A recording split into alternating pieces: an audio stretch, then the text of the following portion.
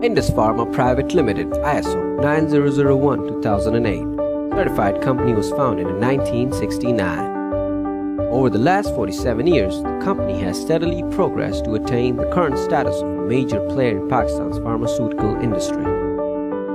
Today, Indus Pharma Private Limited accomplishments include a major manufacturing facility with elaborate capability of producing a wide array of pharmaceuticals as injectables, powder parenterals, liquid parenterals, liquids, syrups and suspension, oral solids, tablets, capsules, sachets and oral powders, and oral parenteral cephalosporin, including dry injection, dry suspension, and capsules. All this under most stringent quality assurance standards incorporating state-of-the-art equipment such as compact line, computerized optical inspection machine, etc.